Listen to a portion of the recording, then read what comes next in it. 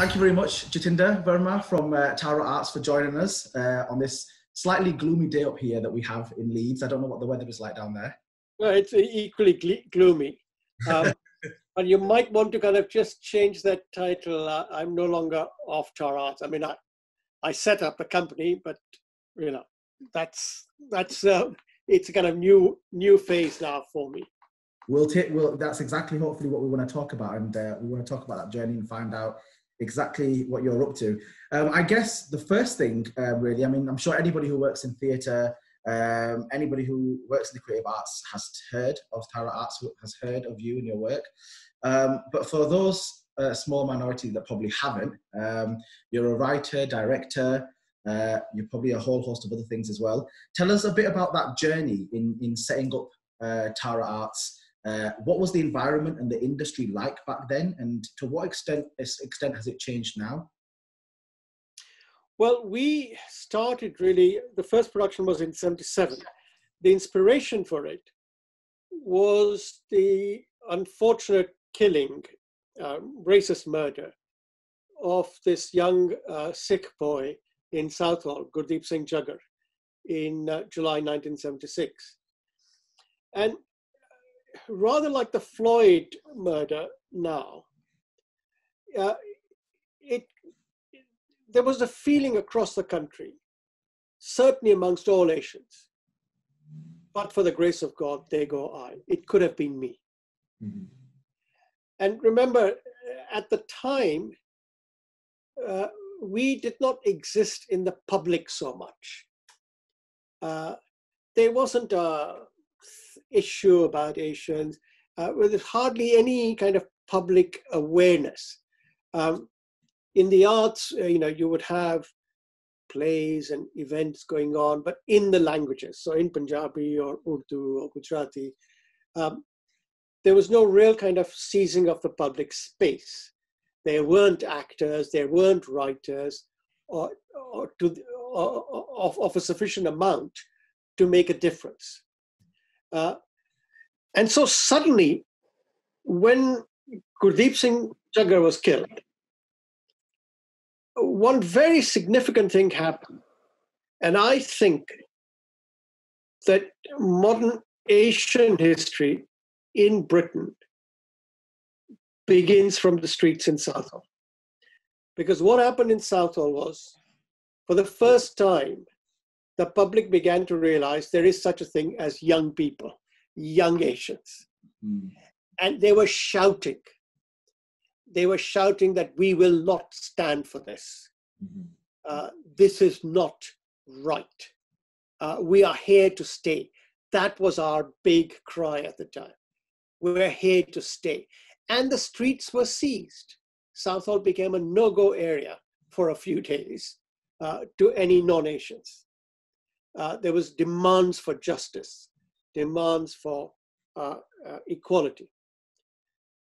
Now that was the kind of uh, situation in which we grew up. And as we looked around, we saw that there were very few places where we existed publicly. Uh, things were happening in factories. There were strikes going on, mainly led by Asian women, uh, sporadic strikes like that. Uh, but the public space, which is the theaters, the concert halls, uh, the televisions, uh, those by and large we did not exist in. And that's really what we started to do, to say that's what we want to do. We will find our public voice uh, and put into that whatever our concerns are. And how hard was that for you? Um, I mean, you mentioned in in in that um, in that answer there about the fact that there was very few uh, artists of sufficient amount.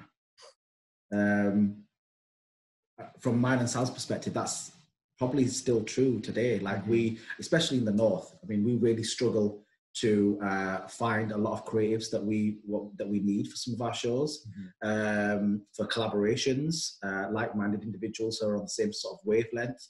Uh, I also think uh, that there's a political climate that's kind of shifted, or maybe has stayed the same, in which that uh, white spaces are still the dominant spaces, uh, even within theatre, and um, it, it, takes a lot of courage to um, speak or challenge power, uh, which I'm, I'm, assuming hasn't hasn't changed much um, since the time that that Tara originally set up.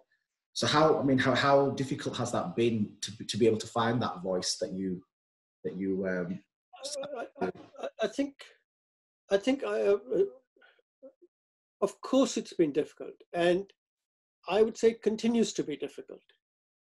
And one has to embrace the difficulty because what you're doing, what I certainly felt that we were doing and still feel, is that you were going against the grain. Uh, you were wanting to bring in another, a different kind of story or a different way of working. That's what you wanted to do. And I have to say that, you know, either we were pig-headed, stubborn, uh, uh, or continued to be arrogant, which continues to be today, to say, I know what I'm doing. Mm-hmm. And it, I'll do it whatever it takes. So to give you one example, uh, we were clear when we did the first play, which was uh, an adaptation that we did of Rabindranath Tagore's The Sacrifice. And we chose it because this was his protest against the First World War. And he was uh, criticizing an attitude of mind. Now, at the time, we felt, of course, uh, there was one kind of attitude of mind which we wanted to challenge, which was racism. Things like what happened to Gurdeep Singh Chaggar and so forth. But we also felt that we can't just look outside at society. We've got to look inside as well. So we've got to be just as critical of our own selves uh, when it is, if we accept that racism is a form of oppression, then don't assume that we as Asians don't have oppression. Yeah. Uh, whether it is uh, on the basis of gender or caste or creed, you know, we have that as well. It's not the same as racism, that's a different matter, but we do have oppression. So we ought to be critical. Uh, if we're being critical of white society, we ought to be critical of ourselves as well. Mm. But having set that out, I mean, we gathered about 50 people from the local community to do that first play. Mm. And absolutely to a person, the vast majority of those 50 people um, were were not in it for the politics. They felt that we were being political. And we stuck to our guns. And so after that first show, most of them left. There were only five of us left. Yeah. But we carried on. and that attracted another set of people, and then another set of people. Uh, so, I mean, I think that that was one of those moments where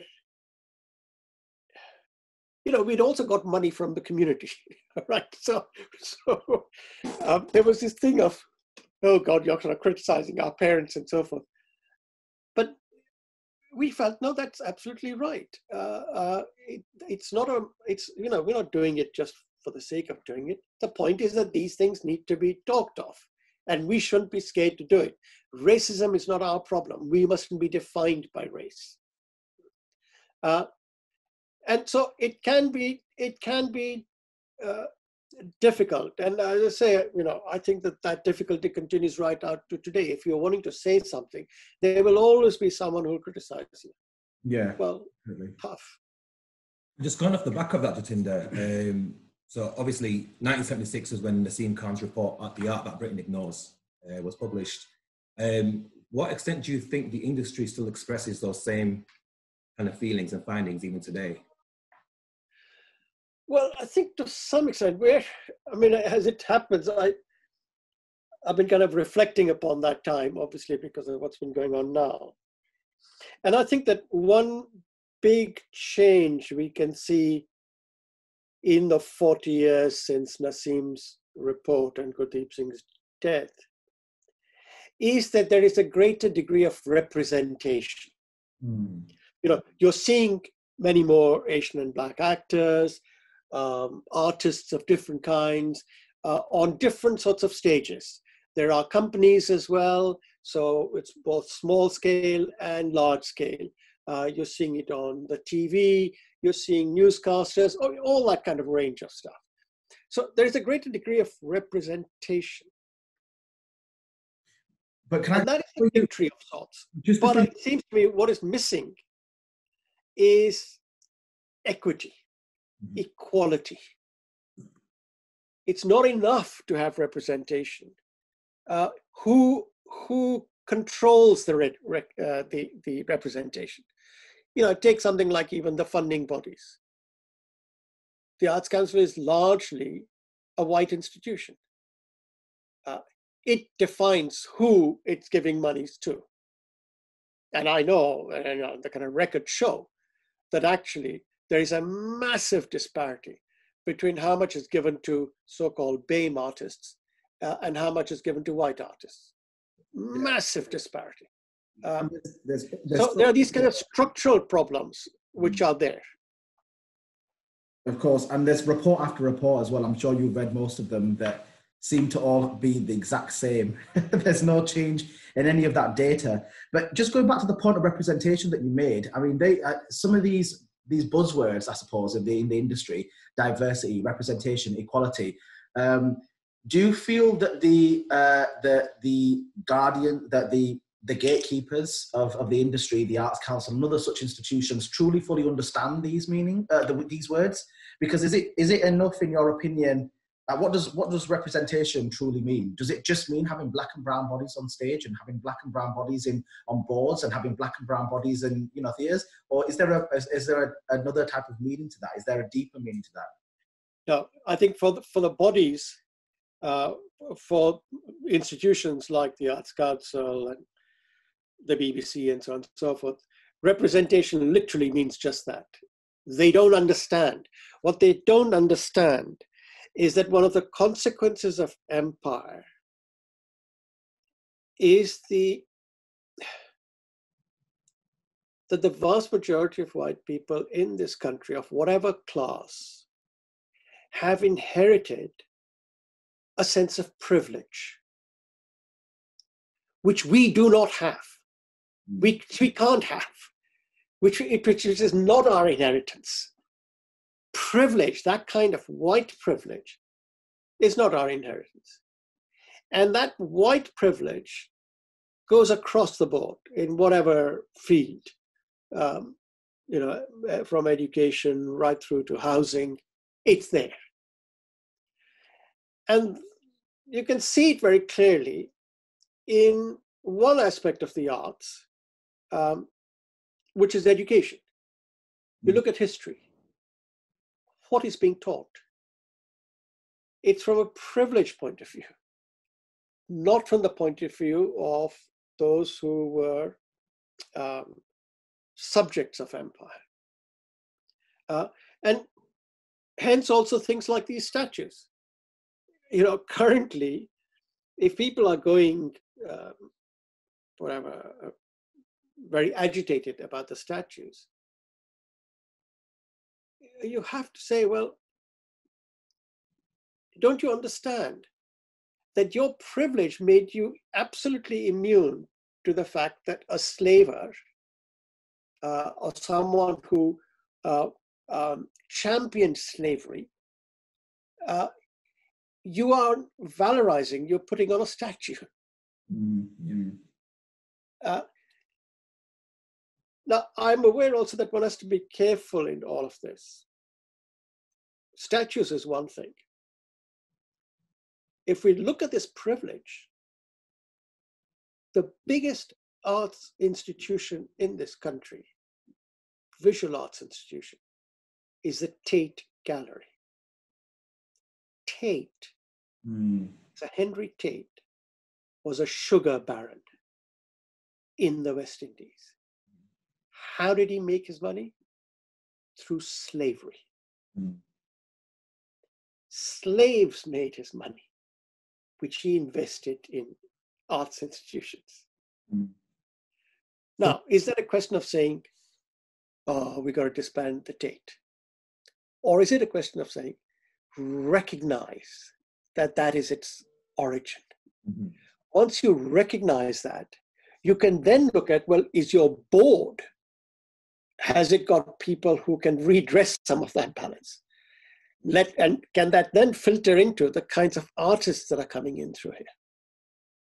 So I guess what you're saying is knowledge building is obviously the most important thing when it comes to uh, and we would we would agree with this as well. More than knowledge building, it seems to me it's it's a it's you know it's not my knowledge in that sense. It's it's people, if you like, kind of white people recognizing that it's not a question of the guilt of my fathers. It's acknowledging that empire gave you a privilege. Mm-hmm. Once you acknowledge that, you can then understand why people are angry.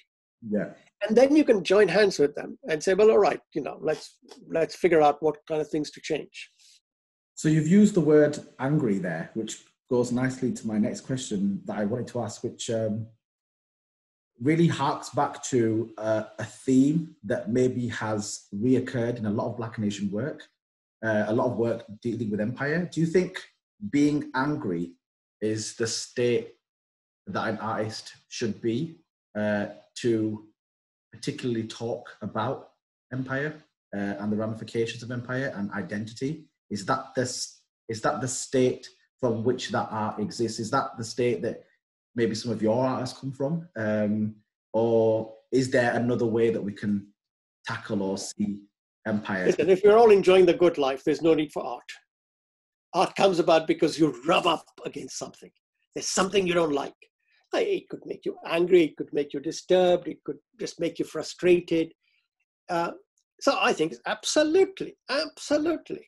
All art is fueled by some kind of anger, uh, whether it's an individual artist or whether it's a kind of collective artist, something that makes you rub up against society, something that makes you think, ah, no, that's not right, or I don't like this, or you know, it, it's it, it is it is a basic condition of being an artist.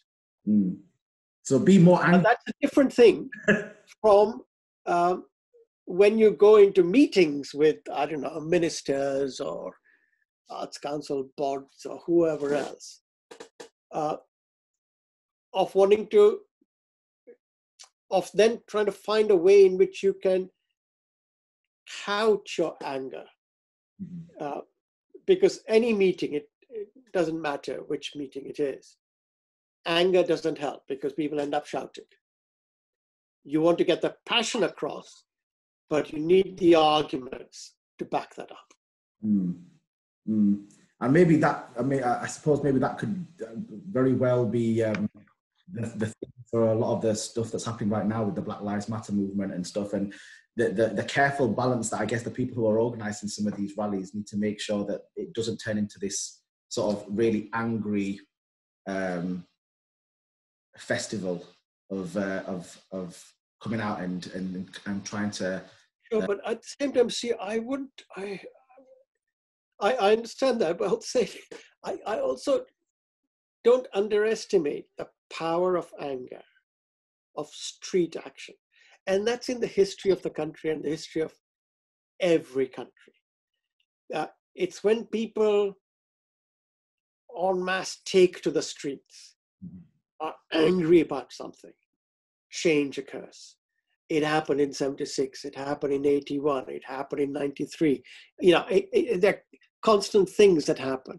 And in a way, anger becomes that kind of protest uh, large scale protest becomes a way in which the powers that be suddenly recognize an issue, as they've done now. Now, everyone from the politicians to the BBC to radio, everyone is talking about Black Lives Matters. And they're talking because people seize the streets and they were angry enough and they toppled the statues. Do you think? The question now becomes what happens next? Mm-hmm that was what just I was going to ask you is uh, do you think that this movement this re this re-emergence of the movement Black Lives Matter is going to make any kind of real change or is it going to be one of those like like it has so many times in the past uh, emerged a few things have changed, a few things have been done differently, and then it just kind of goes back into the ether again. Back to business as usual. Yeah, I think there's some good signs. It's interesting to hear that so many councils in the country are now reviewing the status of their statues. Mm-hmm. Uh, that's a that's a good sign. I mean, that shows that this has percolated beyond the streets. It's gone into another kind of level. Uh, the the big question is how does it percolate into one of the most formative things, which is education. You know, changing the curriculum. Uh, will it percolate into things like the BBC um, wanting to change its leadership? Uh, the Arts Council change its leadership. The Arts Council used to have a diversity director. It gone. So I, those are the kinds of challenges I think, and yeah. that's something that's that's really more for us in terms of uh, the, the, both the Black Lives Movement, all of us who are involved in the arts, to continue to sort of push for those changes, and not not accept with thanks the funding that we get. Mm. It's our right to get funding, absolutely. But I'm not simply going to be thankful for that. Yeah, definitely. There does seem to be this um, almost daunting um, kind of mentality within within the arts of of trying to um, uh, secure funding, um, and I guess it is all about resource allocation, isn't it? This is where going back to your earlier points, it's about uh, who make the decisions, who who they want to help and who they don't want to help, and then you know you and you may get that support until a point that you step out of line, and and then mm-hmm. suddenly that support's gone. Maybe that's how it's always been, and maybe that's how it's always will be. I don't know. We'll see. I just wanted to move on to this another area. So most of your career, you've obviously uh, spanned. Um, you've sp- most of the career that you've had has been with Tara Arts has been to try and nurture this um, this baby that you've that you um, set up, and and then it kind of flourished into all different uh, different things. What have been your what have been your personally? What have been your proudest and greatest and most maybe defining moments and achievements uh, as an individual artist who is at the helm of a company like this, uh, but also achievements of of the company itself? well it's kind of you know every project has been a has been an achievement from 77 onwards um, I, I'd say now uh, that that building that theatre, the Tara Theatre, for me has been the most, um, I would not say the most satisfying, but that is definitely an achievement. For one reason only. Is that for the first time, at least within Asian theatre, there is a bricks and mortar, um, three dimensional building, a home. And that's really pleasing because our whole history is a very short one.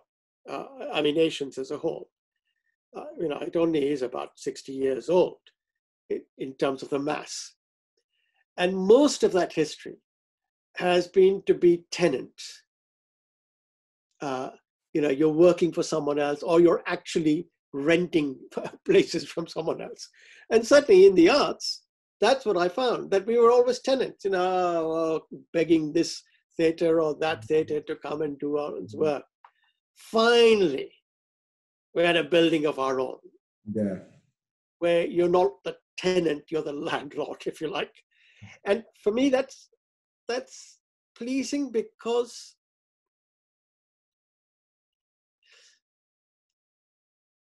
because English theatre is defined by its buildings.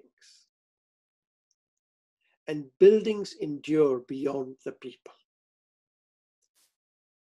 And that, when I think back to the cry in 1976, you know, on the streets of Southall, we are here to stay.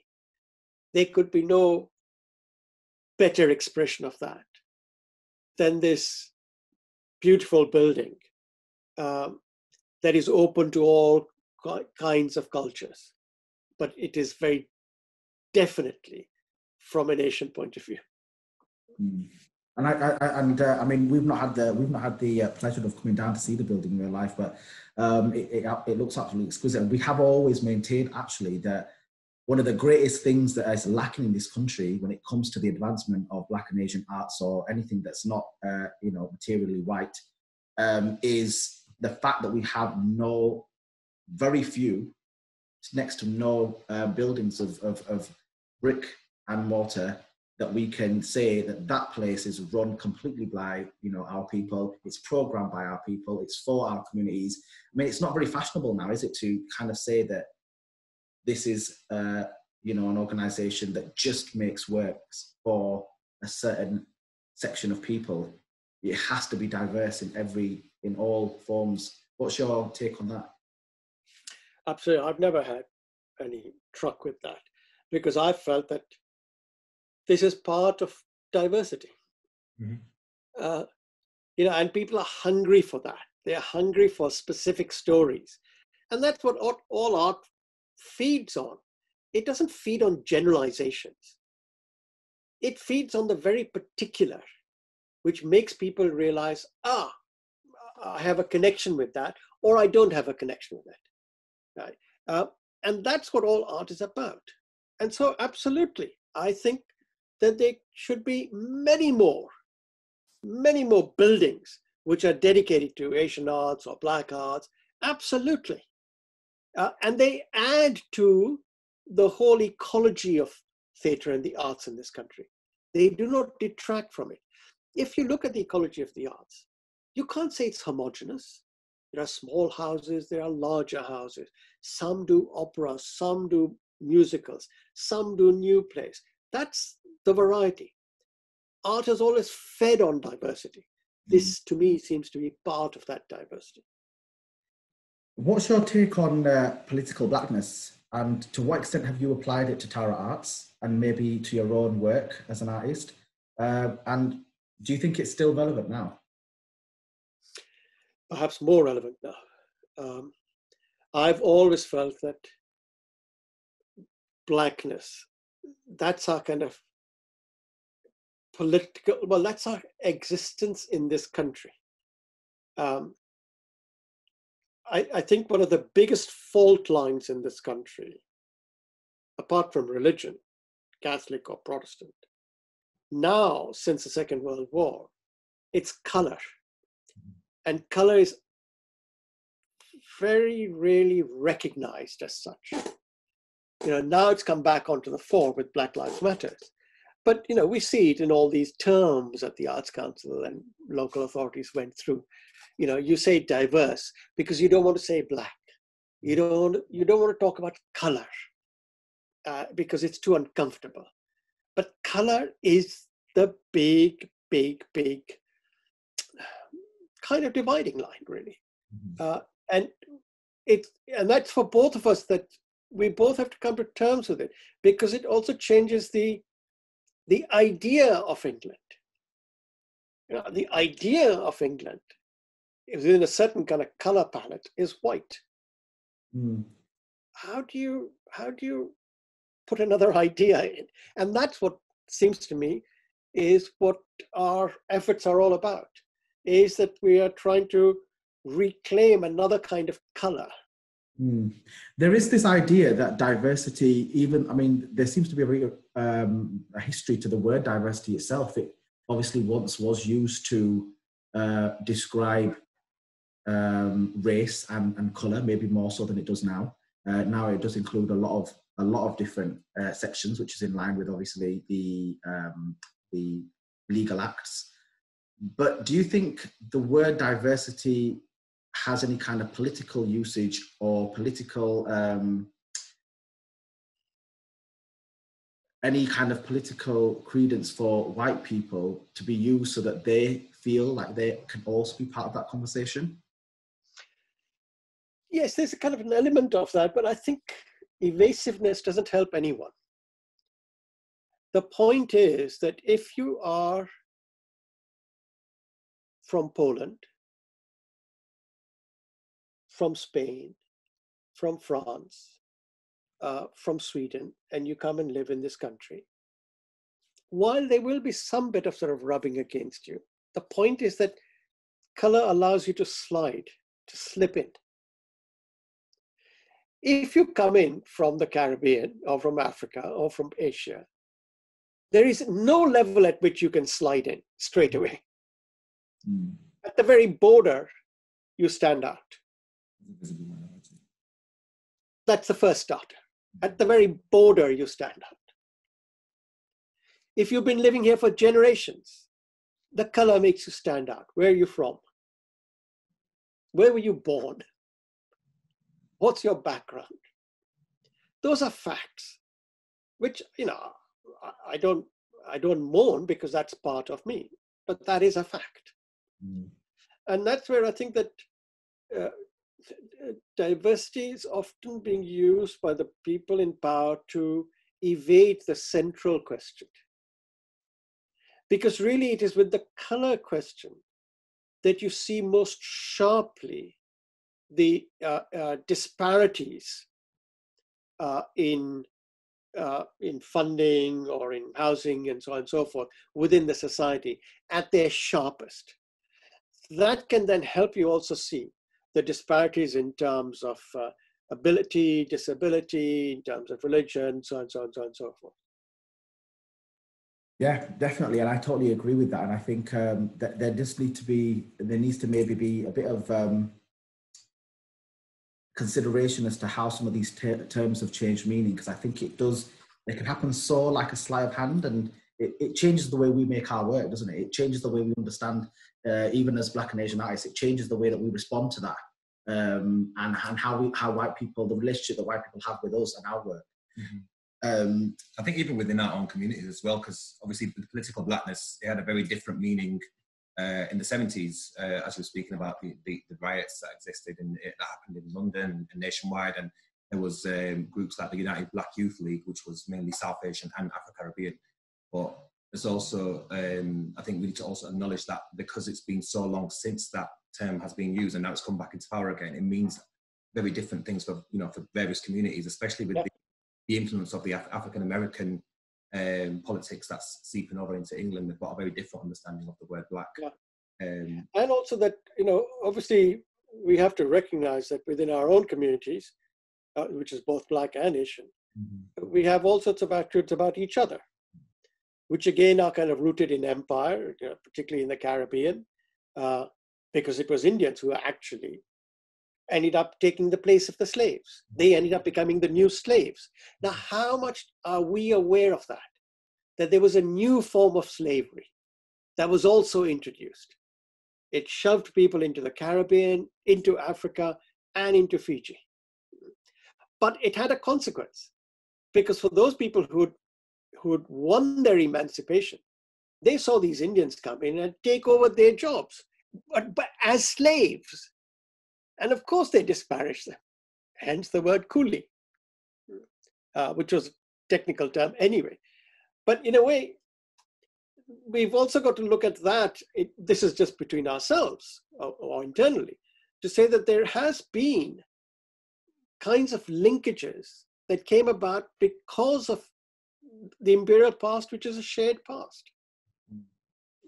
So, given given given all of that, what next? What's next for Jatinder? Um, have you you left Tara yet? Are you are you outgoing? Um, yeah, yeah, I, I have left, uh, or I, uh, certainly at the end of this month, I absolutely uh, completely kind of cut off. But you know, I've got well, I set up my own company, which is JV Productions, and I'm carrying on. So uh, I've got a couple of projects. One is looking at Hiroshima, because there's the 75th anniversary of uh, the the atomic bomb this year, which still seems the most sort of incredible thing to have happened. Mm-hmm. Um, but I'm also looking at the only play that was banned by the British. So it's the first play, and that introduced censorship into India. And it was about uh, farmers making indigo dye, which is what is used in jeans. Um, I mean, both productions, of course, have had to be parked to, to, to next year. Mm-hmm. But I'm kind of looking at ways in which those could be redone uh, or, or presented in this other format, which is an online format, um, while we wait on the production to occur next year. Uh, so I'm currently kind of trying to furiously teach myself how to film and how to edit. Which is exactly what we've been doing as well. Yeah, which is great. I mean, I think it's fantastic. You know, it's great learning all these new skills. Um, and I'm kind of looking at um, you know, one of my abiding interests has been the Mahabharata because it's the only text I know of in world literature which is about a family splitting apart. Mm. And it seems to me that that's what's happening in the country. Brexit has made us into two very different branches of the same family. Um, so I've been kind of looking at that and the stories within that to see yeah, are there ways in which to adapt this to rework this kind of model. Um, and I'm also working with a young researcher uh, who has got very interested in the story of Gurdeep Singh Chaggar. Uh, so fortunately, she's been assembling uh, the, the, the, material, and I've had a kind of look at the material, uh, and I'm now working with her to think of different ways in which that material can can come out uh, until such time when we can make a production of it. Because uh, mm. I think that that it's an important story. Uh, and for me, one of the most moving things about that story is that, uh, aside from the fact that you know, he was only 17 and he was killed in a part of London which was safe. You know, it was known as Little India even then. Mm. Um, but two weeks before he was killed, he cut off his hair. He was a Sikh in order to fit in. Mm. And then he gets killed. It's interesting. You've uh, it's it's almost like you've come back full circle um, at the end of your tenure at, at Tara, um, and looking at the story um, that inspired you originally. that originally yeah. inspired you. I think there seems there seems to be something very poetic about that. Mm. Uh, not to say that that's the final thing. no, no, no, But it's great. I mean, you know, that's partly partly what happens uh, when you're in the in, in in the arts, or certainly in the theatre for as long as I've been. That there are certain things that sort of keep coming back. Mm. Uh, it could be certain texts or certain just ways of looking uh, that you find yourself, yes, I, I'm kind of repeating, but hopefully it's not repeating in the same way. You know, hopefully I've learned a little bit in all these years. Out of interest, was there a production or some kind of play or something that came out of when you originally set up the company, out of that whole struggle and that, and that murder? Did, did, was, did, no, no, uh, it was too fresh at the time, mm. uh, and so we never quite sort of touched. We we fit it in through the adaptations and stuff, uh, but never quite looked at that incident itself. Mm. so I was delighted when I came across this research, and she, out of her own uh, desire, uh, had started researching and trying to find out about this particular fellow. Yeah, because there's very little about him. There's very little out there about him actually. Uh, weirdly enough, in archives and stuff. I mean, we've looked, we've looked ourselves, and uh, there wasn't, there wasn't much. so we'd be, yeah. yeah. we'd be really interested to, to. Yeah. Mm. And in terms of your, your, your, your art, your work, the thing that you want to focus on now after Tara, is it writing? Is it directing? What is it? What is your passion? I mean, not to say that you have to be exclusively one or the other, but what is it that you really like doing? Yeah, I think one of the things that both stepping back from Tara and the lockdown has has sort of made clear in me is that I miss directing. That that thing of working with people to shape something. That's really what's what's my sort of biggest buzz. Uh, and yes, I mean, you know, the writing is is fine, but it hasn't. I know that I am not uh, I'm not that kind of a writer. Uh, I can edit, I can adapt, but I'm not that kind of a writer. I leave that to others. Mm. Um, I used to, when we started, think that I was an actor. big, big that one. I didn't know you had that feather in your cap. That would be interesting to see what. Uh... Oh, uh, I had, I had, uh, I had quite a few uh, uh of uh, plays which I acted in, but no, you, you know, one, you, you sort of learn over the years to take your art seriously, mm-hmm. and part of taking it seriously is to then uh, be more discriminating about yourself to say, well, all right, you know, know where your talent is, and mm. that ain't it. Absolutely, and I think uh, that is a is a very good note to maybe uh, draw draw this to a close. We need to be more courageous, and we need to continue making art, especially under these times. And uh, we can't wait until Tara opens up again, so we can finally get the opportunity to come down and see it, but also to meet yourself uh, in face to face, and maybe do another interview about the production that you're you're going to go and do. Um, but Jatinder Verma, thank you so much for taking thank time you. out uh, for speaking to us.